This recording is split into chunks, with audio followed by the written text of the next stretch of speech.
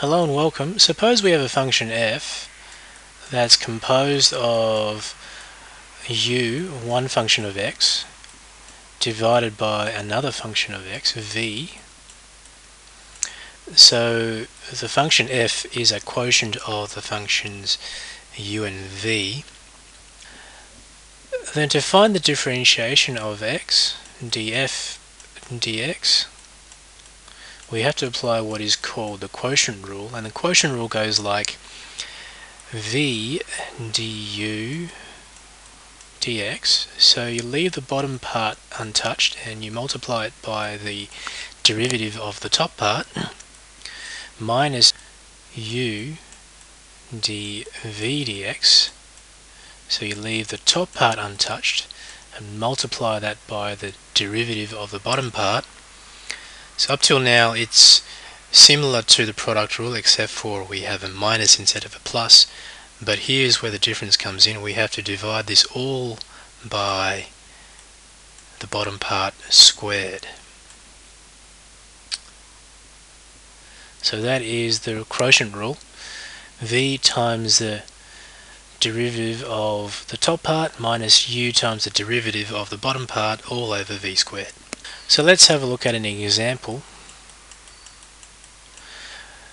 Let's find the derivative of tan x.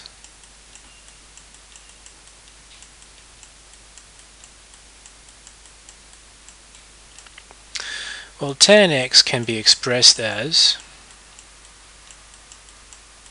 sine of x divided by cos x So I'm going to let u of x equal sine x and I'm going to let v of x equal cos x. So that would imply then that du dx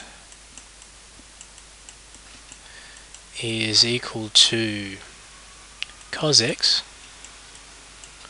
because sine differentiates the cos and dv dx is equal to negative sine x because cos differentiates to negative sine.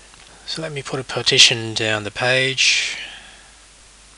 So following the quotient rule, the derivative of tan x, ddx of tan x, would equal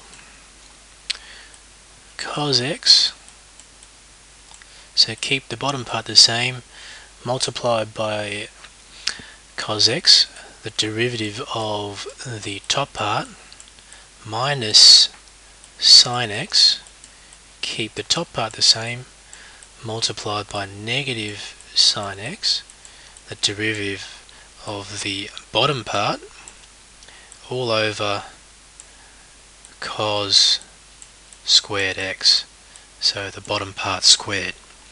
And note that cos squared x is equal to cos of x all squared. It's probably a neater way of writing it. So tidying up a little bit, we will get cos squared x plus sine squared x so negative times negative equals a positive divided by cos squared x. Okay, an important trigonometric identity to remember is that cos squared x plus sine squared x is equal to 1.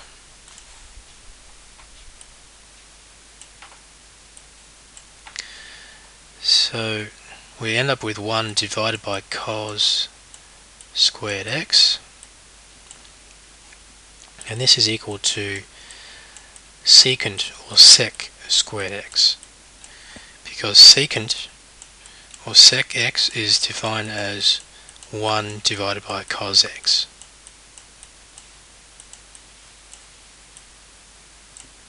So here's our answer. The derivative of tan x is equal to sec squared x using the quotient rule. So if this video has helped you better understand how to use the quotient rule, please give me a thumbs up. If you are a math student, please feel free to subscribe for future videos that may help you on assignments or exams. If you have any question that you would like me to do a video on, please feel free to comment on any of the videos that you've seen. Thanks for watching and I hope you learned something.